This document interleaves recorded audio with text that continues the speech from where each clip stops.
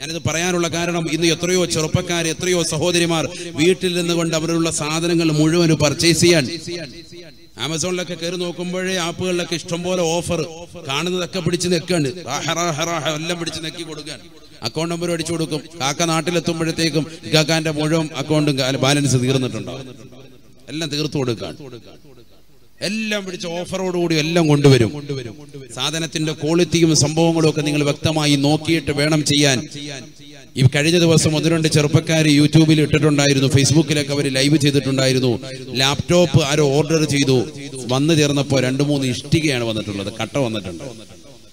Order ചെയ്ത ലാപ്ടോപ്പാണ് നാൽപ്പതിനായിരം രൂപയ്ക്ക് ലാപ്ടോപ്പ് ഓർഡർ ചെയ്ത. സാധനം വീട്ടിലെത്തിയപ്പോൾ രണ്ട് മൂന്ന് കട്ട വീട് കട്ടം റാഹത്തായിട്ട്. അതിനുള്ള കട്ട വന്നിട്ടുണ്ട്. അപ്പൊ അങ്ങനെയൊക്കെ കളിപ്പീരുകൊണ്ട് അതൊക്കെ തിരിച്ചറിഞ്ഞിട്ട് വേണം നിങ്ങൾ ഇതിന്റെ പിന്നിൽ നിൽക്കാൻ. മറ്റൊരു കാര്യം എനിക്ക് ഓർമ്മപ്പെടുത്താനുള്ളത് രക്ഷിതാക്കൾ ഒരു കാര്യം ശ്രദ്ധിക്കണം. മക്കളുടെ കയ്യിൽ നിന്ന് എവിടെയാണ് ഇതിനുള്ള പണം? വാപ്പാടെ കയ്യിൽ ഇപ്പോഴും പഴയ നോക്കിയുടെ മൊബൈൽ ഫോണാണ്. ചെറിയ കറുത്തൊരു മൊബൈൽ ഫോണാണ് ഉപ്പാടെ കയ്യിലുള്ളത്. ഉമ്മാക്കാണ് മൊബൈൽ ഫോൺ ഉണ്ടാവൂല. പക്ഷെ മക്കളുടെ കയ്യിലുണ്ട് പത്തക്കോൽ പോലെ വലിയ മൊബൈൽ ഫോൺ വലിയ സ്ലൈറ്റ് പോലെ വലിയ മൊബൈൽ ഫോൺ ടാബും അതും ഇതും എല്ലാം ഉണ്ട്. ഇത് ആര് വാങ്ങിച്ചു കൊടുത്തു? ഉപ്പ തന്നെ വാങ്ങിച്ചു കൊടുത്തതാണോ? അതല്ല കൂട്ടുകാരി നൽകി എന്ന് പറയുന്നു. ഇത് കൂട്ടുകാരിയാണോ അതല്ല കൂട്ടുകാരനാണോ? എപ്പോഴും ഇവൾ നെറ്റിലുണ്ട് എപ്പോഴും ഇവൾ വാട്സാപ്പിലുണ്ട്. ഇവൾക്ക് ഈ നെറ്റ് റീചാർജ് ചെയ്യാനുള്ള പണം അംബാനി കൊടുത്തോ? അതല്ല ഈ ദുനിയാവിൽ അംബാനിയായിട്ട് നടക്കുന്ന ഏതെങ്കിലും ചെറുപ്പക്കാർ കൊടുത്തോ? ഇത് ആര് കൊടുത്തതാ? ഇത് മനസ്സിലാക്കണ്ടേ? അത് ചോദിച്ച് മനസ്സിലാക്കണം. ഇല്ലെങ്കിൽ നമ്മൾ പെടും. നാളെ മക്കൾ ഒളിച്ചോടിയിട്ട് അള്ളാഹുവെ ഞാൻ അറിഞ്ഞില്ലല്ലോ. ഉസ്താദെ ഞാൻ അറിഞ്ഞില്ലല്ലോ. എന്ന് നീ ഖേദിക്കാൻ പാടില്ല.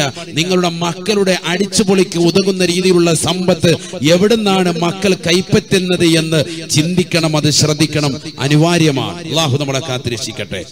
ഇവൻ ആരെങ്കിലും പോയി തട്ടിയിട്ട് കിട്ടിയതാണോ?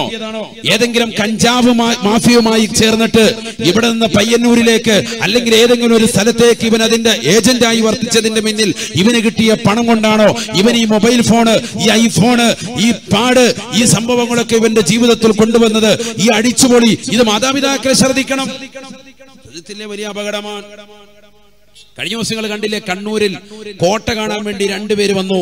കാമുകന്മാർ കാമുകി കാമുകന്മാർ വന്നു. കമിതാക്കൾ വന്നിരിക്കുന്നു. പോലീസ് അവരെ നിരീക്ഷിച്ചു. രണ്ടുപേരുടെയും ഇരുത്തത്തിൽ എന്തോ പന്തി ഉണ്ടെന്ന് തോന്നി.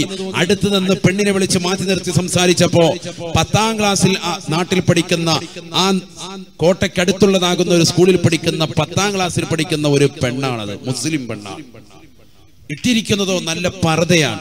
വീട്ടിൽ നിറന്നുമ്പോ പർദയെടുത്ത് ബാഗിനുള്ളിൽ വെച്ച് സ്കൂളിന്റെ ഏതെങ്കിലും പിന്നാമ്പുറത്ത് പോയി അല്ലെങ്കിൽ ശൗചാലയത്തിൽ പോയി ആ പർദയണിഞ്ഞിട്ട് യൂണിഫോം എടുത്ത് ബാഗിൽ വെച്ച് തിയേറ്ററിലേക്കും പാർക്കിലേക്കും മാളുകളിലേക്കും കൂട്ടുകാരുമായി കറങ്ങി നടക്കുന്ന എത്രയോ മുസ്ലിം അംഗമാരുണ്ട് എത്രയോ ഉമ്മമാരുണ്ട് എത്രയോ മക്കളുണ്ട് എത്രയോ സ്കൂളിൽ പഠിക്കുന്ന വിദ്യാർത്ഥിനികളുണ്ട്. ഇതൊന്നും നമ്മളൊന്നും അറിയുന്നില്ലേ? എന്ത് പറ്റിപ്പോയി? നമ്മുടെ മക്കൾ എവിടെ പോകുന്നു? പഠിക്കുന്നുണ്ടോ? സ്കൂളിൽ തന്നെയാണോ അവൾ പോകുന്നത്? രാവിലെ ബാഗ്യം തൂക്കി ഇറങ്ങുന്നുണ്ട്. ട്യൂഷൻ ഉണ്ടെന്ന് പറഞ്ഞ് ഇത് ട്യൂഷൻ ഉള്ളതാണോ ഇല്ലാത്തതാണോ? എവിടെയാണ് പോകുന്നത്? വാപ്പയും ഉമ്മയും അറിയണം. എന്താ നിങ്ങൾ അറിയണ്ടേ? നിങ്ങളല്ലേ ചെലവിന് കൊടുക്കുന്നത്? നിങ്ങളല്ലേ ഭക്ഷണം നൽകുന്നത്? നിങ്ങളല്ലേ വസ്ത്രം കൊടുക്കുന്നത്? നിങ്ങളല്ലേ അവരെ താരാട്ടുപാടി ഉറക്കിയത്? നിങ്ങളല്ലേ അവർക്ക് അപകടം പിടഞ്ഞു വരുമ്പോ ആ അപകടത്തിൽ നിന്ന് രക്ഷിച്ച് മക്കളുടെ ജീവന് വേണ്ടി പാതിരാത്രി സമയത്ത് ഉറക്കമൊഴിച്ച് പടച്ചിറപ്പിന്റെ ദർബാറിലേക്ക് ദ്വായ് ചെയ്യുന്നത് നിങ്ങളല്ലേ? എന്തേ നിങ്ങൾക്ക് അധികാരം നഷ്ടപ്പെട്ടു പോയോ? വാപ്പയും ഉമ്മയും എന്തേ ജാഗരൂകരാകാത്തത്? മക്കൾക്ക് അപകടം പിണഞ്ഞു കഴിയുമ്പോ എഴുന്നേറ്റിട്ട് കാര്യമില്ല. കൂടെയുള്ള കോട്ട കാണാൻ വന്നവനോട് ചോദിച്ചു വയസ്സ് എത്രയാൻ വയസ്സ് മുപ്പത്തി ആറ് കൂടെയുള്ള പെണ്ണിനോ വയസ്സ് പതിനാല്. പത്താം ക്ലാസ്സിൽ പഠിക്കുന്ന കുട്ടി. കൂടെയുള്ള മുപ്പത്തി ആറ് ഏത് മതത്തിൽ? അന്യമതത്തിൽ. മതം ഞാൻ പറയുന്നില്ല. അള്ളാഹു നമ്മളെ കാക്കട്ടെ. വളരെ ചിന്തിക്കേണ്ടതാണ് നമ്മൾ. എവിടെ എത്തിപ്പോയി? ഏതെങ്കിലും ഒരുത്തൻ വീട്ടിൽ വരുന്ന ഒരുത്തൻ മൈക്കാടായി വരുന്നവൻ ആശാരിയായി വരുന്നവൻ അവനൊന്ന് ചിരിച്ചു കാണിച്ചാൽ ഇളകിപ്പോകുന്നതാണോ പെണ്ണെ നിന്റെ സ്ത്രീത്വം? ഇളകിപ്പോകുന്നതാണോ? നിന്റെ ജീവിതത്തിൽ സൂക്ഷ്മത വേണ്ടേ? റബ്ബിനെ പേടിക്കണ്ടേ? അള്ളാഹുവിന്റെ കോടതിയെ നീ ഭയക്കണ്ടേ? എന്ത് പറ്റി നമ്മുടെ സഹോദരിമാർ എന്ത് പറ്റി ഹബീബായ തങ്ങൾ പറയുകയാണ് ഇന്നീല ഉബഗദുൽ മർആ تخرج من بيتها تجر ذيلها وتشتكي عن زوجها ഹബീബായ റസൂലുള്ളാഹി സ്വല്ലല്ലാഹു അലൈഹി വസല്ലമ തങ്ങൾ പറയുകയാണ് ഒരു പെണ്ണിനോട് എനിക്ക് വല്ലാത്ത ദേഷ്യമാണ് ദേഷ്യമാണ് തഖ്റുജു മിൻ ബൈതിഹാ അവൾ വീട്ടിൽ നിന്ന് പുറത്തിറങ്ങുന്നവളാണ് അവളുടെ തുണിയുടെ കോന്തൽ നിലത്തൂടി വലിച്ചടച്ചുകൊണ്ട് നടക്കുന്നവളാണ്. അഥവാ അവൾ പോകാത്ത പാർക്കില്ല അവൾ പോകാത്ത മാളുകളില്ല. ഭർത്താവ് പ്രവാസിയാണ്. അറബിയുടെ ചാട്ടമാരടി കൊണ്ട് മരുഭൂമിയിൽ പൊരുവയലത്ത് കഷ്ടപ്പെടുന്നവനാ.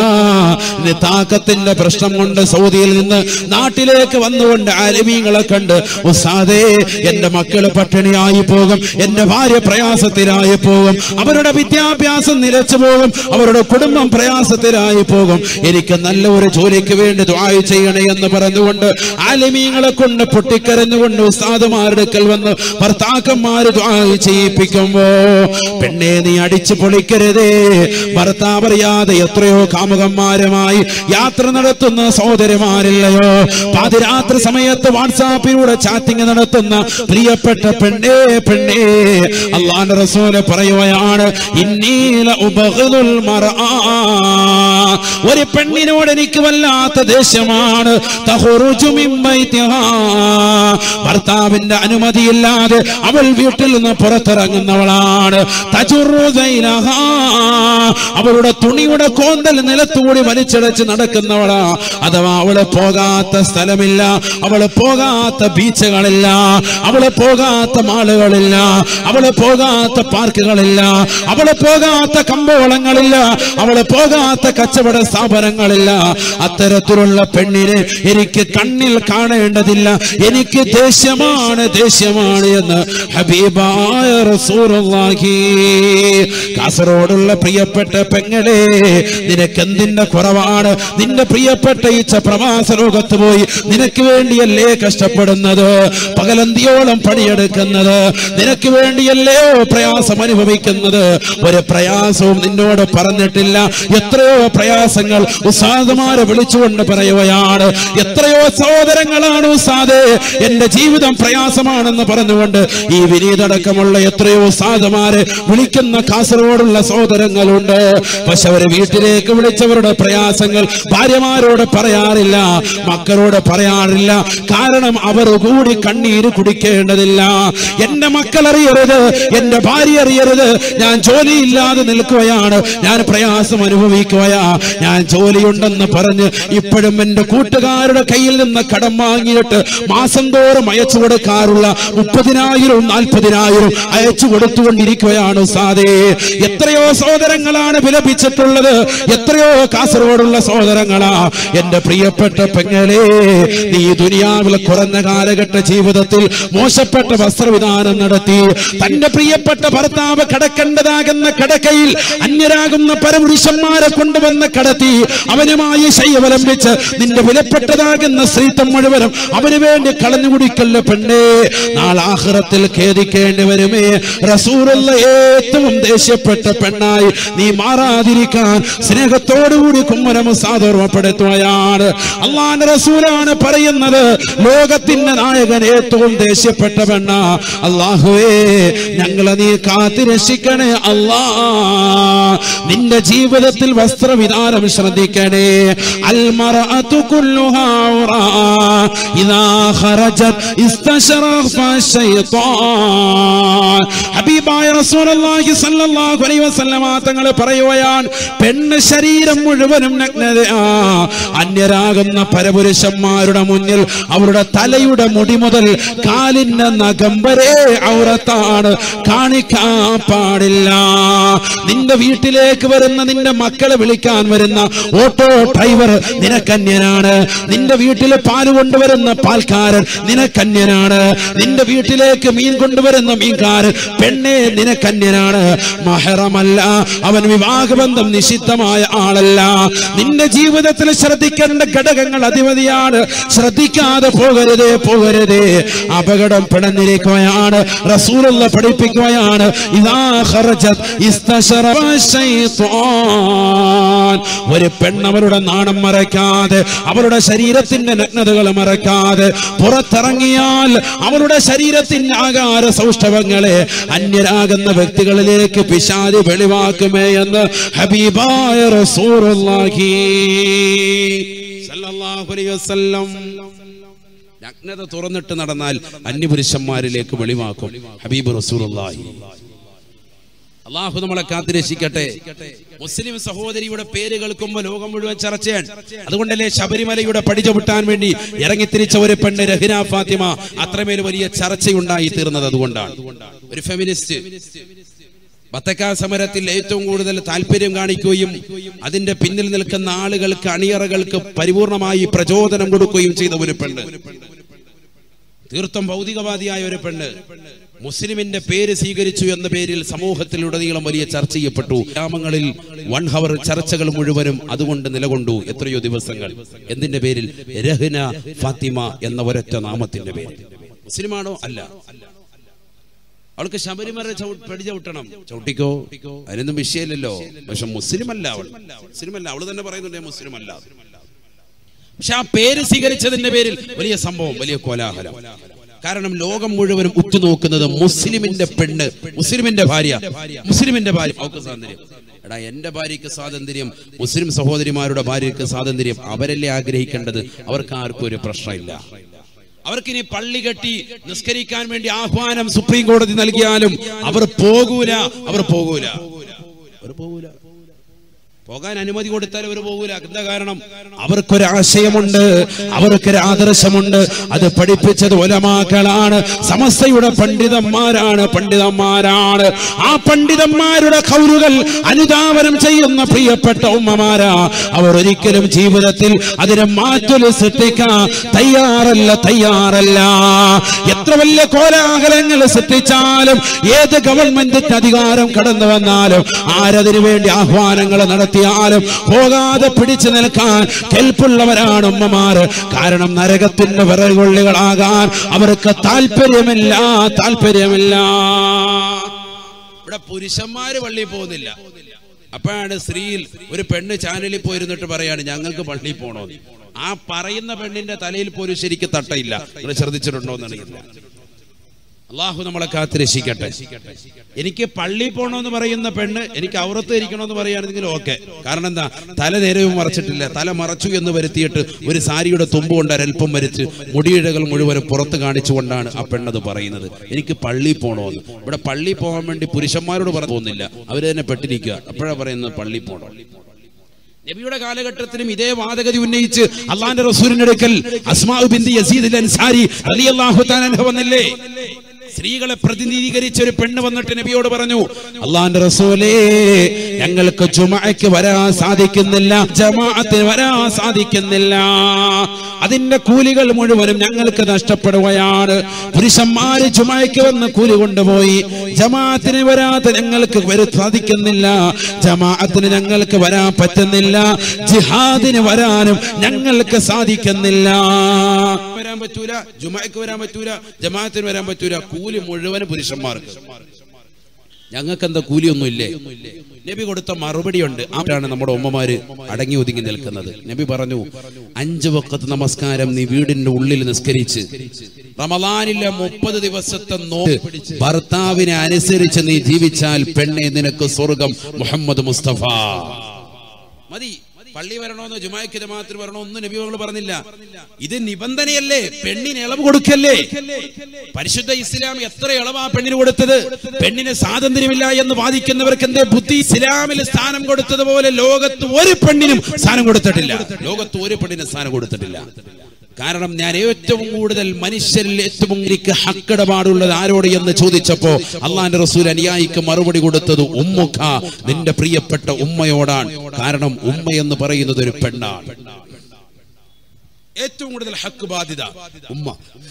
രണ്ടാമത് ചോദിച്ചു സുമ്മമൻ പിന്നെ ആരോട് നബിയെ? നബിതങ്ങൾ പറഞ്ഞു ഉമ്മുക്ക നിന്റെ ഉമ്മയോട് മൂന്നാമത് ചോദിച്ചു ആരോട്? അള്ളാന്റെ റസൂൽ പറഞ്ഞു ഉമ്മുക്ക നിന്റെ പ്രിയപ്പെട്ട ഉമ്മയോട്.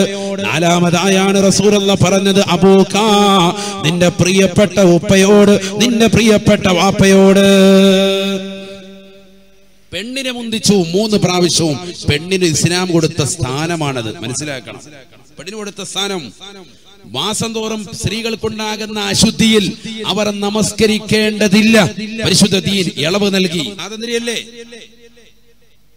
ശരീരത്തിൽ നിന്ന് അല്പാൽപമായി നിർഗളിക്കുന്നതാകുന്ന രക്തകണക്കിലൂടെ അവ പരിഗണിച്ചിട്ട് രക്തങ്ങളെ പരിഗണിക്കുക പരിഗണിച്ചിട്ട് അവരോട് പറയുന്ന പെണ്ണെ നീ ആ സമയത്ത് നിസ്കരിക്കേണ്ടതില്ല.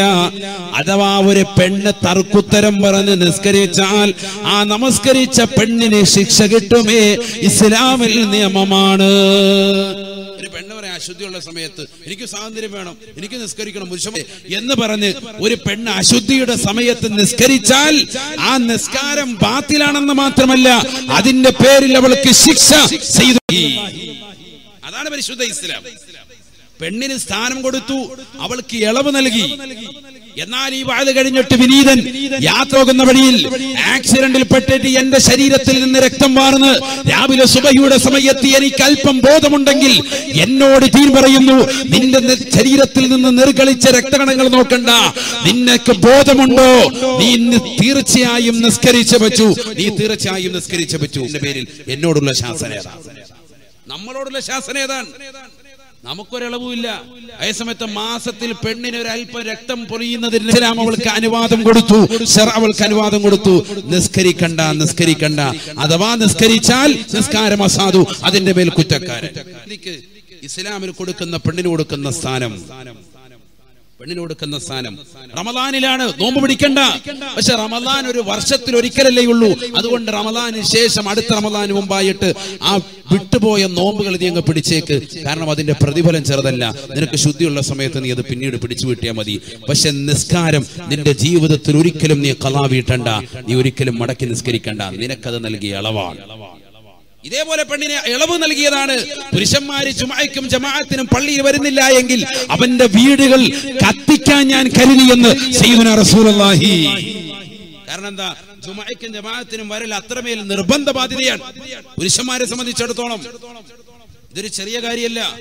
പെണ്ണിന് നൽകിയ സ്വാതന്ത്ര്യമാണ് പരിശുദ്ധ ഇസ്ലാമിൽ.